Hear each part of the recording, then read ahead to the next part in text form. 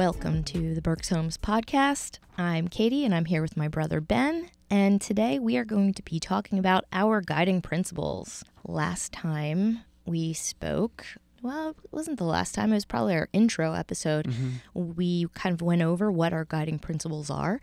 And we've had some great feedback so far about some topics and things. And since guiding principles are the second half of what our foundation of our company is built on, we thought we would go into a little more detail about how we came up with them and how we use them. So, let's talk about what your experience was with the guiding principles because these started well before we came up with this one sheet of paper. So, I have 20 years of history with some of these words on here, some of the concepts, and I know that you kind of were in and out of some of those conversations. Right. Yeah, I was I was out doing remodeling, but we had from the beginning. I want to say it was like 2000 2001-ish. We landed on the core values, right? Yeah, well, it started, those conversations were started, I think it was really when we read Good to Great. Yeah. And I think Deb Um, has the date written down in her book. I think maybe Early- 2005. Early 2000s. Yeah.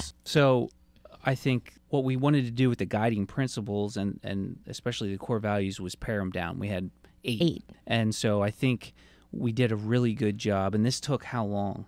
Honestly, we were working on it for a good four years on and off before we landed on how to condense into one sheet. Yes. I think that, you know, personally, well, I'll speak for you too, these, the core values, especially, talking about them first, you know, there's, those are all things that were strong themes in the parenting style Yes. and and it's reflected in just the way dad especially handles himself on a daily basis with everybody that he comes into contact with. I think what we tried to do was not just from a personal standpoint, but what you know what the values were for the company as it evolved and it just Yeah. everybody that was in a leadership position or even you know anybody that was hired it was not intentional you know we didn't screen that way but it was Well, subliminally It, it,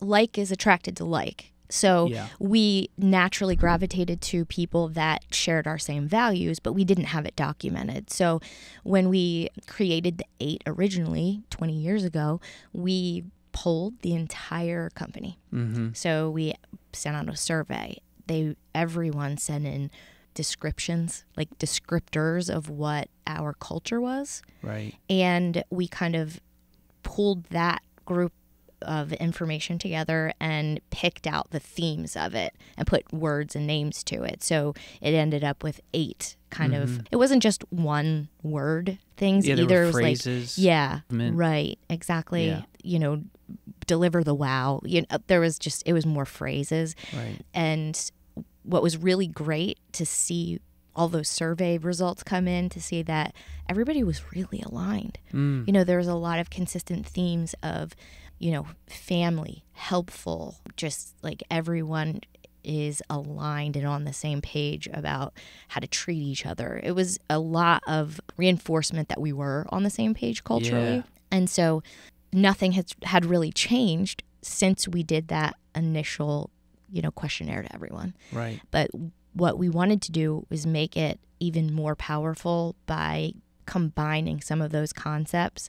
And we kind of ended up on, I think, helpful, humble, and driven. mm-hmm. And then Yeah. the last, we knew that we were missing a piece because a lot of the time when you don't have all four of these, you're unbalanced. Yeah. So we needed that last one to be a balance because you, if you are just driven without awareness, sometimes you can be a little aggressive and not like a know. locomotive? Yes, and you know if you're just helpful without the driven or the awareness, you know, so you, you need to, to have a nice balance. So that aware word came in from a book Mike read. It has to be a Lencioni or oh, Yeah. oh, he, man, I'm sorry, Mike. I can't remember off the top of my head.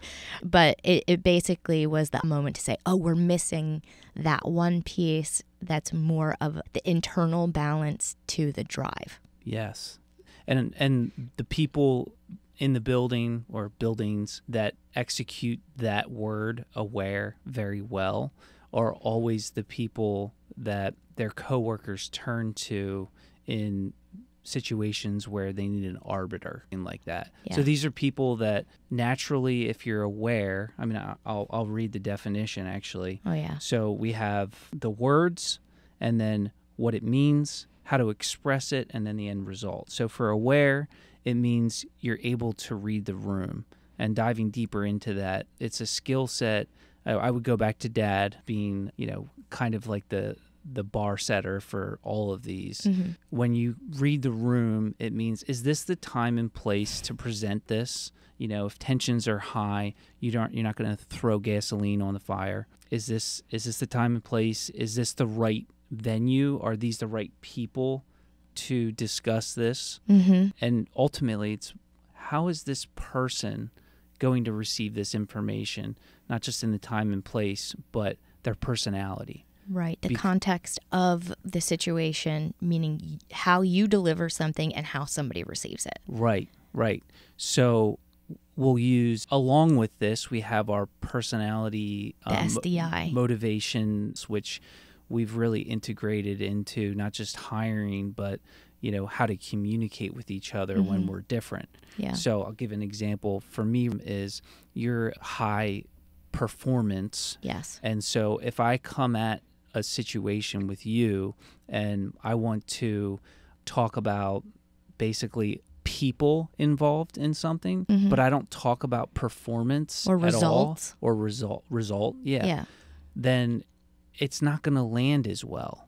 I'm Yep. just talking about stuff that is not at the top of your list hmm you know so reading the room is knowing i need to curate my Messaging. communication style hmm on the person Exactly. and that's it's not some people have it like you're just born with like i know how to communicate with different types of people others it needs to be a skill that they acquire and refine over Mhm. time so i think like you said when you're balanced that's one of those critical things so Mhm. people that come in and are what we call red you know Mhm. results based that could be a challenge for them Yeah, typically, like for me being a red, I've really had to tap into being aware. And honestly, the humble piece as well, mm. because if you're driving for results all the time, you know, setting aside the ego is not that.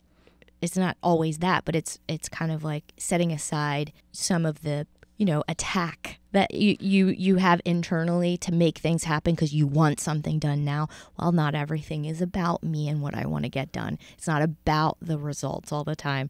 So calm down ask good questions Yeah. you know? So actually that's probably the next one to go into since i'm i'm revealing it. So how how to express it is ask good questions and stay engaged. So this is awareness going back to aware using your red profile as the example, not that uh, you know you for instance you you manage your your red very well. You know, well, that but- i was taught behavior Sure, yes sure. But it could be presented as this opinion, my idea is is the only one or the most important, Mhm. right? So reading the room is saying I need to adjust probably the tone or you know the messaging in my communication because in reality it's the most important to you, right not always the most important to other people. to the room S- Yeah, exactly so you're trying to roll something out that is going to get the results that we want. And then there's three blues who care about people mm-hmm. more than anything. They're motivated by people. They say, well, but that affects people in these five ways. And, right? So Right. if if you're really working on your awareness, you come to the table with a solution that outlines how it affects people as well. yes Even though it's not maybe your first motivation, mm-hmm. but then that satisfies that. Then you have the green people that care about process, how exactly it gets done, not necessarily how it affects people or the results, but that it should be done a certain way and then the other two things don't matter. So it, it's it's all this this harmonious you know circular reference of trying to basically get in the middle. Well, and and I guess if we take a step back, the whole purpose of the guiding principles is to give you a framework to answer most questions that you have of how to operate. yeah So, step number 1 is know thyself. mm, Become self aware. Okay, who am I? That's why we give those tests so that you can understand your own motivators. That's why we go into a lot of different personality tests on top of it as needed. So, if you understand yourself, you understand how you're motivated, then you know how to work the guiding principles. right So, using the aware example, you know what your motivations are, you understand what other people's in the room is, you know how to use aware to your benefit and everyone else's. yeah So, that's kind of the, you know, high level look at guiding principles is when in doubt, default to using this as a tool to, you know, be successful in your job at the end of the day. Yeah. You know so if we start with the core values you know we're kind of starting with the internal piece a little Yeah. bit the human part.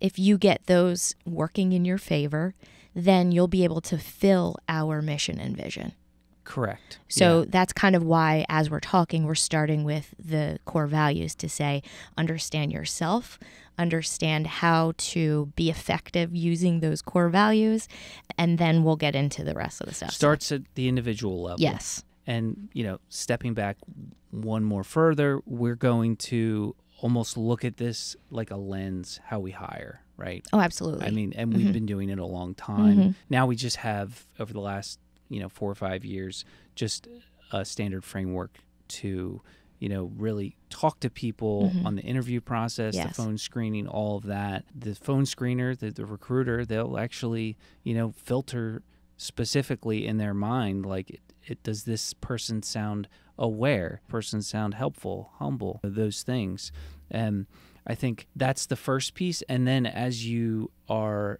you know oriented here you're onboarded then it's how do i operate yes. you know moving forward let me just finish the aware Yep. part so the result of being aware in all your interactions is anticipating the impact of your actions and i think that is that that just cuts right to the bone of the Mhm. the whole word and basically it's saying before i interact be with a coworker you know a vendor a customer anything i'm going to think about how my messaging is and saying if i say it this way this could be the result if i say it this way that could be the result right yes. so And I'd like to tie back every core value to the mission yeah and vision, Mhm. basically to say, okay, if we anticipate the impact of our actions, are we hitting our mission, which Mhm. is we create the lasting relationships? We create lasting relationships by earning the trust of those we serve. mm-hmm. So, are we, if we are anticipating the impact of our actions, ultimately building trust? That's Correct. the end game. yeah So, the result of each of our core values is to build trust in relationship. So, we believe that these four core values help you create trust in relationship, right period. So, moving in, we kind of hit with aware the most difficult one in my opinion it is because it's it's most it, it's like the most complicated and the most subtle almost. It's navigating office politics. It's Yeah. it's interpersonal relationships. It's the most difficult one when you're working with people Yes. Yeah. because you can pick up anybody off the street and say they're helpful. You know, Mhm. I mean that's that's a manner. That's that's what people are raised to be generally helpful. Mhm. And but aware is a skill Yes. more. That's kind of where what we've understood working with these for a while is helpful, humble, and driven are more just you're born with it. Yeah. Typically one of them or a couple, Yeah. and then aware is is a learned behavior. nurture. Yeah. So if we go back to the core values, helpful, what it means, proactively be of use and service, Mhm. how to express it, pitch in, and the result, we leave things better than we found them. And I would say this is the most prevalent core value in our company. I, I feel like almost anyone that walks in the door is just built this way. Yeah.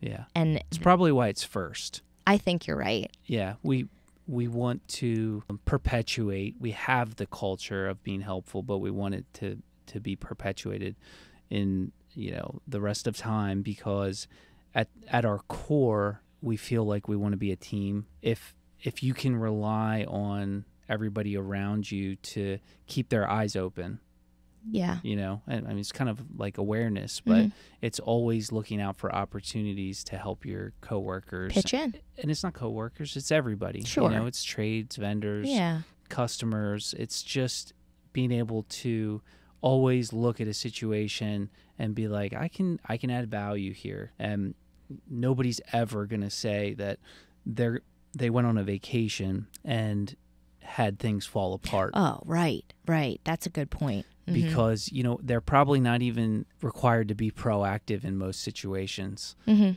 Their coworker will say, "Oh yeah, I was going to take care of that. No worries." Yeah, that's exactly And- right. yeah. We probably don't have to spend a lot of time on helpful. 'cause It's just kind of an obvious one, but Yeah, what is again nice tying it back to the mission. That's a huge one to build trust in Mhm. relationships. Being Yes. helpful, helping each other out. yeah, and we we really look at that in terms of you know creating trust.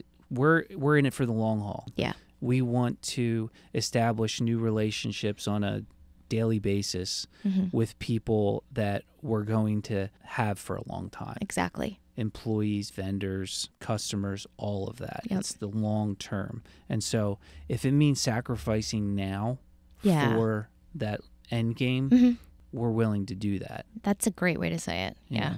So humble. I'll take humble. This is one that could be a little unique to our organization just because of I would say probably because of dad. hmm It was critical for us to, you know, work this in to the main core values because we feel like out of humility comes so many great results That's exactly in right. reality tying it back to the mission everybody that you know looks at a person that has that distinct value of humility they're automatically going to assign some level of trust to them Yes. when you meet somebody that's humble and you know somebody maybe successful really successful and you're the first thing you say if if you meet somebody successful Mhm. and they impress you as somebody that's really humble that's the first thing they're going to say because automatically you meet somebody that's really successful you say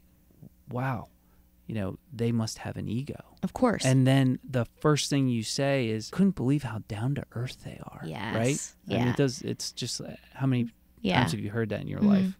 And so I think no matter what, you never want to get too high or too low. Mhm. It's that internal confidence of, you know, having humility and being part of something greater than you. Yes. And that's the beauty of the detail here. Yeah. So, uh, what it means: have gratitude, set a, set aside ego. Uh, how to express it: be curious about others, listen and let them shine. Accept acc- accolades with grace. And then the result is we prioritize team wins. All that stuff is so good. You know, I, I just love all of it. I think what I really like about what it means is saying that you're practicing gratitude on Mhm. a daily basis Yes. It's my favorite part. you know, it just makes you uh, have a much larger worldview. It's such perspective. You're just, you know, grateful for the little things, and it's it's a lot more about we than I. hmm Because if you're grateful, you're just thinking about all these things around you. You're not telling yourself, "I'm so grateful that I'm so great."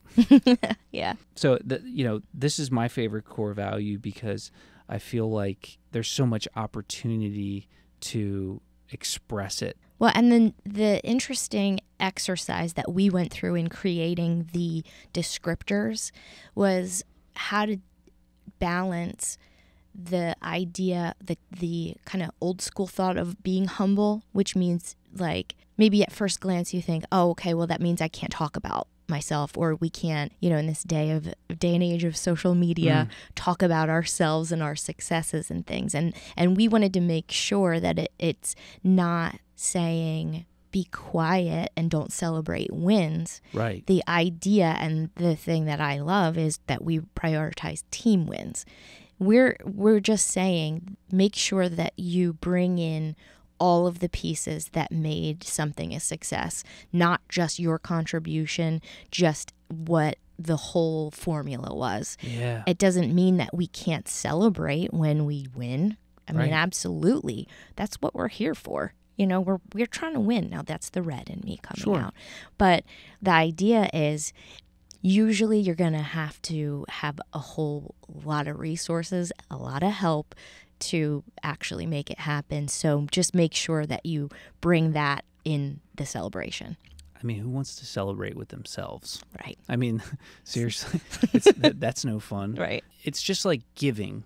It's generally better, more rewarding to somebody when they're able to give a really good gift that lands with somebody else, hmm you know, than getting it. Yeah. It's just, it, it, it all goes together. And it's just so much more enjoyable, impactful, and makes the team, you know, a, a lot more harmonious when you're all celebrating together. That's exactly right. And in reality, business, there's no one person ever. It Yeah. doesn't matter. I Yeah. mean, you, you just you're not going to be successful if it's all the success is derived from one or two or three people. It just Mhm. doesn't happen. That's not what we're trying to build anyway. No. Trying exactly. to build, you know, something that lasts. So Yeah, so then that the last of the core values is driven. This driven is probably where I land more than anything else. What it means, passionately motivated to achieve lofty goals, how to express it, be tenacious and exceed expectations, and the result, we are never satisfied with the status quo. I really like this one because it's a constant reminder to besides being passionately motivated, you know, the how to express it I really like because it's a reminder to assume you will fail. hmm That's the be tenacious part. You're going to hit failures, but get back up again and then keep going until you exceed those expectations. yeah, And there's a lot that's implied in these words, but that's kind of why we're talking about it is to, to put more definition behind it. So that's a huge part of our business that I don't know if we talk about a lot is the acceptance and expectation of failure. right. That Yeah. I that that's part of who we are.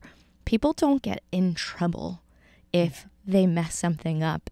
It's about the effort more than anything else and the intention and what you do with it when you fail. Well, and the learning that you Mhm. get out of it. Right. So you put in the effort, it didn't work out the way you wanted it to. What did you learn? What are you going to try again next time? And Yeah. keep going until you get the desired or exceeded result. Correct. So it's never a waste for a mistake if you get something out of it because that's where innovation happens. That's where you have the opportunity to tap in your team, you know? New perspectives. Yeah, there's different just so much, so many great things that can come out of that drive and that acceptance to fail. Yeah, we're probably not talking about it enough. You're right.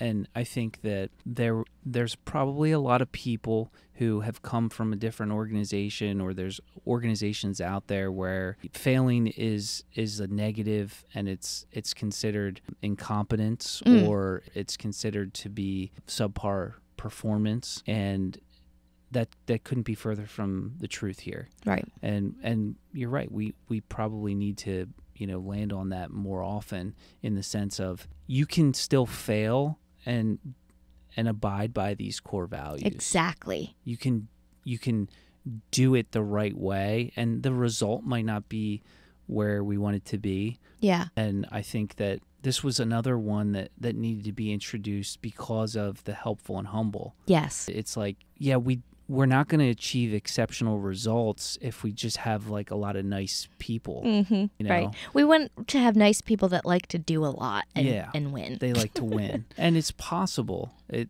it's not everybody. Yeah. You can't always just bring in high performers that stomp everybody around them. yes. You know, there's plenty of driven people out there, Mhm. but we want to win the right way. Yeah.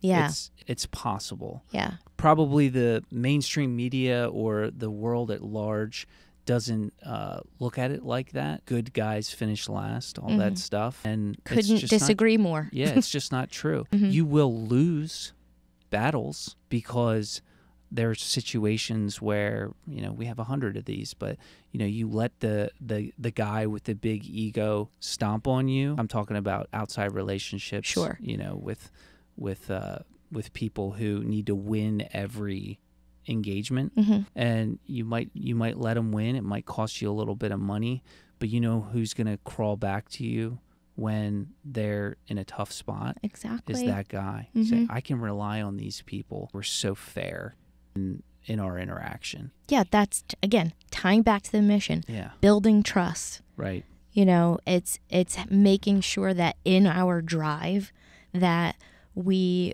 have that mission still at the forefront of our minds. right That the end result we're trying to get, the drive that we're pushing towards, is building, keeping, and earning the trust of those we serve. right and Yeah. who in your mind who are those we serve just to give everybody context Oh, that's a great question. So uh, I would say it's employees, customers, and partners. And partners, to me, the definition would be anyone we work with, whether it's financial, it's trade partners, it's suppliers, it's land relationships. Any of the, those are those we serve. right even people we buy software from Absolutely. that we interact with once a month hmm you know anybody that is on the other end of a phone call or zoom or whatever those are the people we serve That's A- exactly right. anybody when they have an interaction with with our company we want it to be all the same way Yes. and they get that feeling Yep. And that's kind of the point of my department. the experience Anything department that you experience from Berks Homes should be consistent across the board. And I guess we we need to hit on vision here. Lastly, be a major league player in minor league markets, which is so fun to talk about because it what that this I think may have been the most natural and easy phrase that we came up with on the whole page. Yeah. We had been kind of saying it and then all of a sudden it clicked like oh this is this is our vision. This is when we look ahead this is who we are. We want to step up our game. We want to be a major league player meaning we want to play with the elite mm-hmm. out there. We want to have the best cost control the best customer experience the best processes systems efficiencies the best numbers on all of our scorecards you know major league player. But we are serving minor league markets and we're staying out of the way of all of those other people who are playing in the major leagues. Right. We're not going to go open uh, an office in atlanta.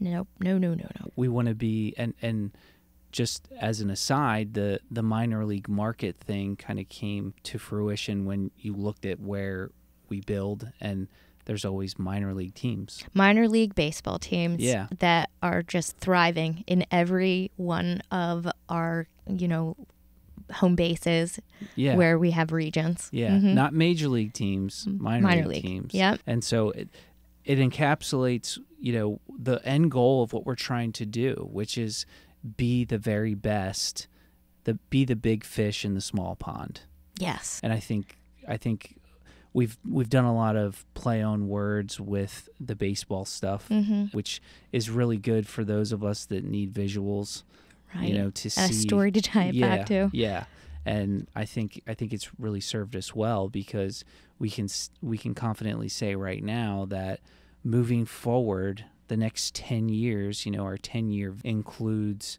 additional markets. We we know what they are already without knowing specifically what they are.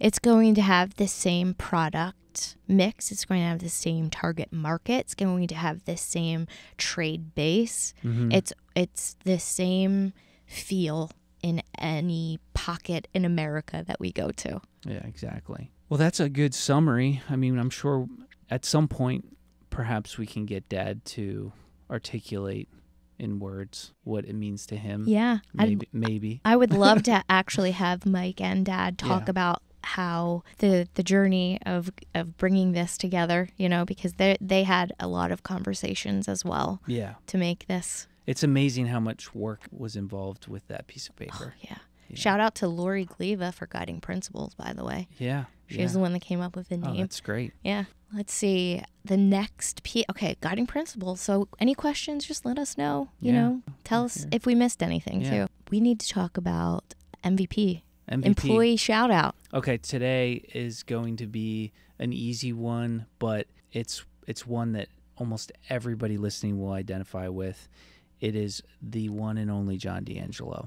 Okay, tell me more. So it's hard in picking an MVP as we discussed because everybody does such great work, but we felt like it was important to moving forward highlight one person.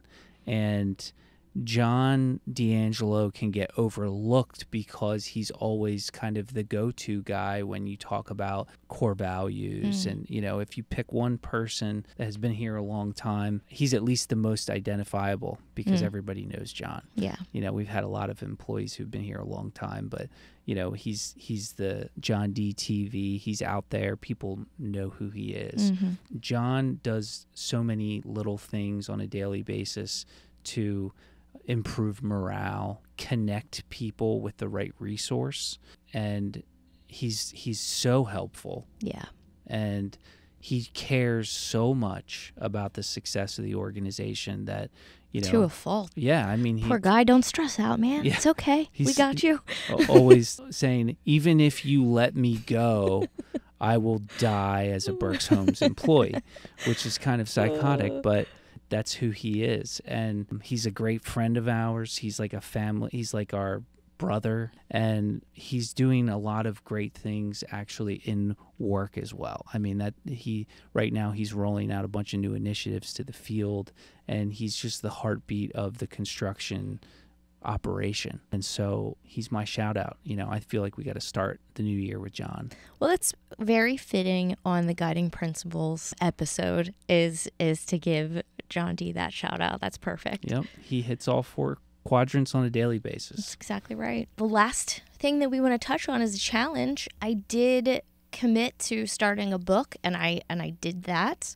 I actually have two books that I started. You know, one is because I am watching The Wheel of Time Mhm. on Amazon Prime right now. Oh, really? It's not not anything that you Not me. want to No. watch no. or No. books that you want to read. Yeah. Great series if you're into that thing. And another one called Switch by Oh. Dan and Chip Heath. I'm rereading it again. Yeah. never read it. So I might have some things to bring back from that. So, but this week's challenge is I am choosing to be a little bit more aware right now. Okay. And this was kind of copying off of Tom. He has adjusted his meetings when he can to be 50 minutes Mm, instead of an hour yeah. because everybody needs that buffer. right. And- running to the next meeting, and then it's all, the other person's waiting Yes, two minutes. exactly. And and just giving yourself that so that's my challenge is to adjust my meeting times when appropriate and when I can control the schedule to make sure that I have transition time in between mm-hmm. meetings so that I am walking into the next meeting prepared in the way that I should be, that I take care of myself, maybe drink some water every once in a while, Yeah. you know, that kind of stuff. Yeah. So that's my challenge is change your meeting times where you can. So, are you actually putting that in your calendar at Yes. 50 minutes? Okay. To make it easy, you could also just every time you start a meeting, you say, just so you know, this is a 50 minute meeting and, you know, 10, up- Right. 10 before or whatever. Right, right. But No, I'm you- I'm if you're just putting it in there, Yeah. that's really good because how many times do you start three minutes late because somebody had to go to the bathroom Yes. or whatever? Yep, grab coffee, whatever. I think that's so. It, there's nothing like the clock strikes, you know, zero and getting started. Yeah. Yeah, uh, you're prepared. Mentally, I think Mhm. that the meeting efficiency just goes way up. Yeah. Well, and that's part of it too, is not just adjust it to 50 minutes or something. Adjust the meeting time for how long it should actually take. Some it should be a 30 minute meeting. Yeah. Some could be 20, Yeah. some could be 37 minutes. Yeah. You know, it, whatever it actually is, and tying that back to EOS, which I'm obsessed with and do all the time, is become better predictors. Yeah. So that predicting is knowing how long something's going to take and making sure that you're accurately addressing that time frame. Right. Are you are you predicting well on your time? Yeah. Well, one of the things that I'll just quickly say EOS Mhm. got me into the habit of was creating an agenda Yes. meeting, Yeah. which is just, you know, this concept of actually planning your time. but if you have five distinct sections of a meeting, literally putting a time limit Yes. to each Yeah. and it just Sticking with it. it just it does. Mhm. If you write it down Mhm. and you're like I have 5 minutes to get through this section, Mhm. you're going to get through it in 5 minutes. Yep. Most of the time. Mhm. And you're like I have 5 minutes to get through this section, Mhm. you're going to get through it in 5 minutes. Yep. More than you won't. That's a great way to say an it. agenda. Yeah. Yep. So, that's good. That's the challenge. I'm going to be starting a book this week, The Gift of Failure. Oh, see, look at that. Yeah. All ties together. Yeah. So, just wanted to let you know. Ooh, I'm I'm anxious to hear about that Yeah. one too. Yeah, I'll give it to you afterwards. All right. Okay. That's that it. wraps up another week of the podcast. See you Have next a great week. week. Yep.